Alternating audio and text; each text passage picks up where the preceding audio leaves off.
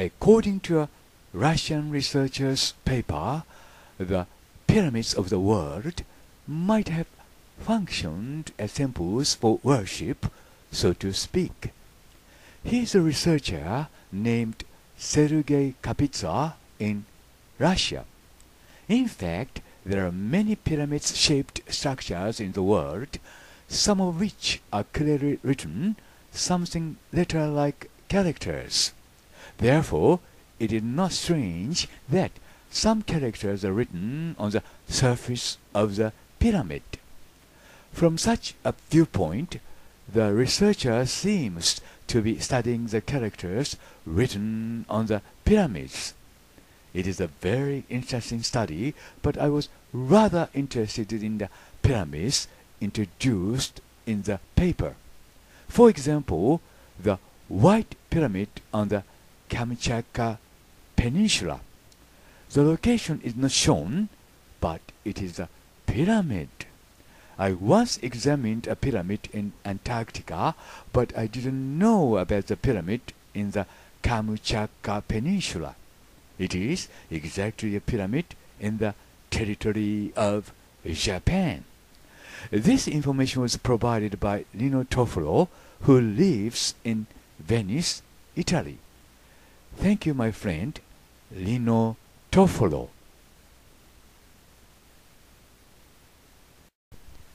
ロシアのこの研究者の論文によれば世界のピラミッドは言うなれば信仰のための寺院として機能していたのではないかということですロシアのセルゲイ・カピッツァという研究者の方です実際のところ世界にはピラミッド型の建造物が多数ありまたその中には明らかに文字が書かれたものもあります。ですからピラミッドの表面に何らかの文字が書かれていたとしてもおかしくありません。そんなところからその研究者はピラミッドに書かれた文字の研究をなさっておられるようです。大変興味深い研究ですが私はむしろその中で紹介されているピラミッドの方に興味を持ちました。例えばカムチャッカ半島。カムチャッカ半島にある白いピラミッドです。場所などは残念ながら表記してありませんがそれはまさにピラミッドです。南極にあるピラミッドについては一度私が検証したことがありますが日本の領土と考えてよいカムチャッカ半島にあるピラミッドについては私は知りませんでした。カムチャッカ半島にピラミッドがあったあるいはあるとなるとこれは大変なことということになります。なおこの情報はイタリア・ベニス在住のリノ・トッフォロさんからもたらされたものです。リノ・トッフォロさんいつもありがとうございます。広島林ハメメシティジャパンそこで私の方でその白いピラミッドがどこにあるか調べてみましたが場所は特定できませんでした、まあ、この論文の雰囲気からするとですねどうやらそのカムチャッカ半島にある白いピラミッドはですね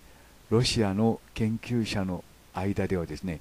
常識的なピラミッドということになるのではないでしょうか。それにしても大変興味がそそられました。今ご覧いただいているのがその白いピラミッドということになります。世界にはピラミッドと判断されているつまりは地形がですねたくさんありますがしかしここまで形が整っているとですね無視できないということになるのではないでしょうか。あるいはですねまあ、一つの山でもですね特定の方向から見ると、まあ、このような形に見えるということもあるわけです、まあ、これから紹介しますボスニアンピラミッドもその中の一つということになるわけですけども果たしてということになるわけですよね。えつまりロマンが広がると言いますかね。夢が大きく膨らむと言いますかねワクワクするような話ですでこのピラミッドについてはですねロシアに何人か私の協力者の方がいらっしゃいますので、まあ、その方にこれから問い合わせてみたいと思います。ということでここではこのピラミッド白いピラミッド並びにピラミッドに書かれた文字についての検証はペンディングということにさせてください。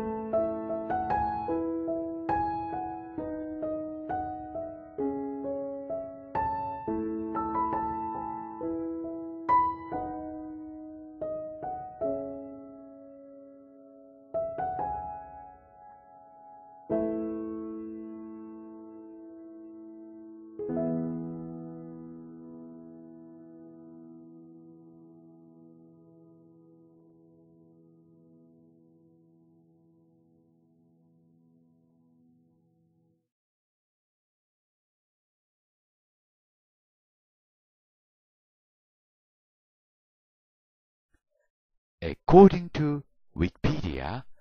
it writes about Bosnian pyramids as follows. Claims about Bosnian pyramids are a pseudo-archaeological notion promoted by Arthur Semir Osmanagic, who proposes that a cluster of natural hills in central Bosnia and Herzegovina are the largest human-made ancient pyramids on Earth. The hills are located near the town of Visoko, northwest of Sarajevo. Visocia Hill, where the old town of Visoki was once sited, came to international attention in October 2005 following a news media campaign by Osmanagic and his supporters. ウィキペディア百科事典によれば、ボスニアンピラミッド群について、それはセミール・オスマナジックという作家によって作られたエセ科学的なもの、エセ科学的なものと考えられています。その作家によれば、この地球上では、ボスニアンピラミッドなるものは最大級の人工ピラミッドであるというのです。そのラミッドと呼ばれる丘は、サラエボの北西にあるビソキという町にあります。で、2005年の10月にオスマナジックとその支持者によるキャンペーンにより国際的な注目を浴びるようになったというわけです。広し林浜祭りジャパン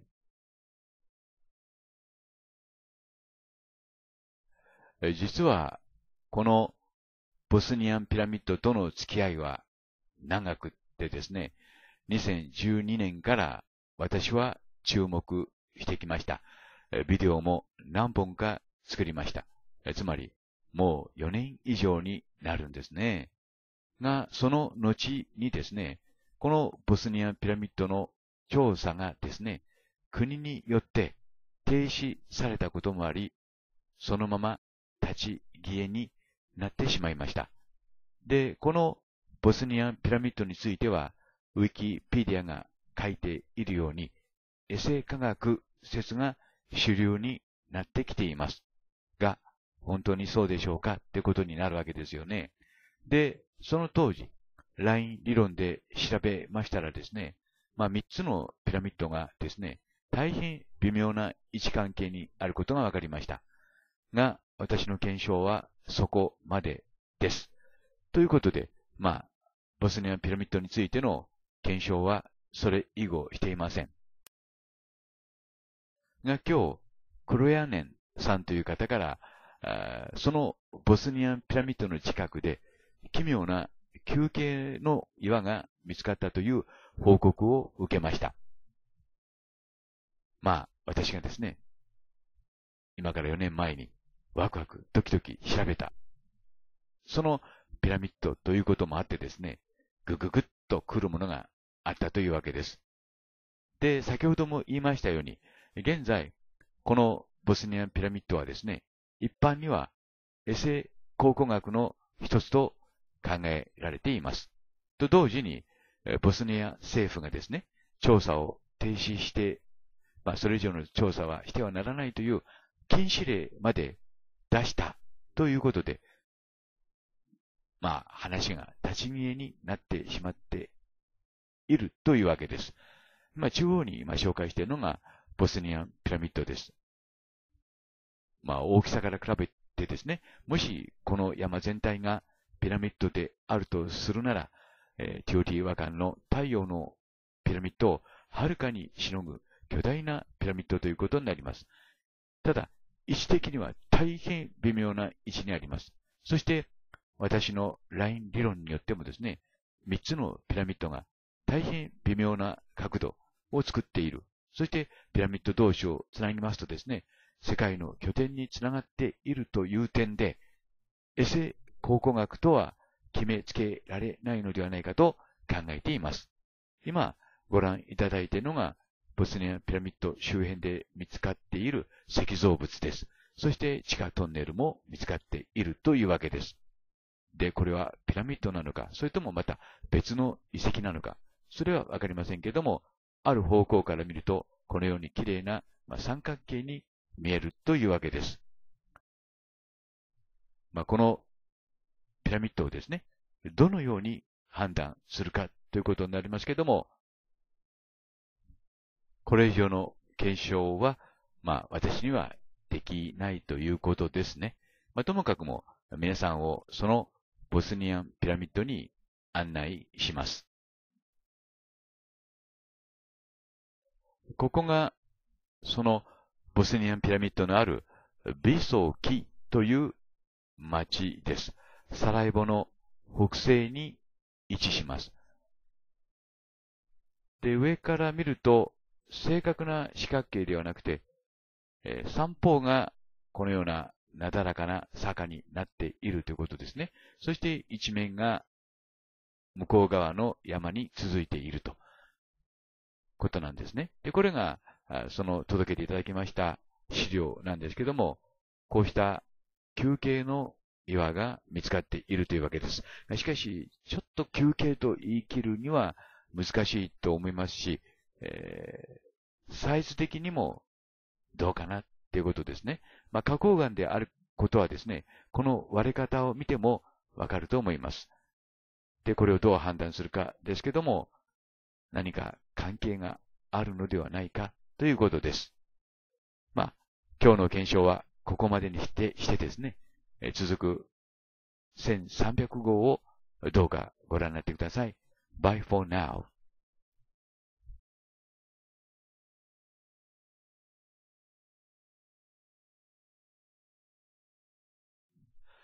Hello, this is Hiroshi Hayashi, Hamama City, Japan. We're sometimes confused to tell which it is uh, man-made or natural. The mystery of Bosnian pyramids is one of them. 自然のものなのか、それとも人工物なのか、ボスニアンピラミッドの謎について考えてみたいと思います。まあ、ここがボスニアンピラミッドです。で、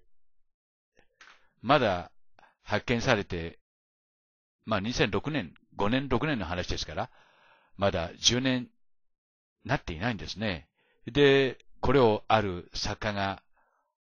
まあ、発表し、世界中が大騒ぎとなったわけであります。まあ、これがあの、太陽のピラミッドと言われている、まあ、山というかピラミッドなんですね。で、確かによくできているわけですね。で、これを、まあ、ピラミッドだとするならば、世界最大級のピラミッドということになります。底辺の長さが360メートル、高さが220メートルあります。で、それをですね、ギザのピラミッド、ティオリア間のピラミッドと比較してみますと、まあ、その巨大さがわかるわけですけども、これがギザのピラミッドです。これが、ティオティワカンですね。の太陽の塔です。で、だんだんピラミッドになっていると。階段状のピラミッドになっているというふうに報告書にあります。で、こうした、まあ、石積みの部分がですね、見つかってるわけですね。で、炭素年代測定法で調べてましたら1万2000年からという数字が出てきたわけです。で、世界中から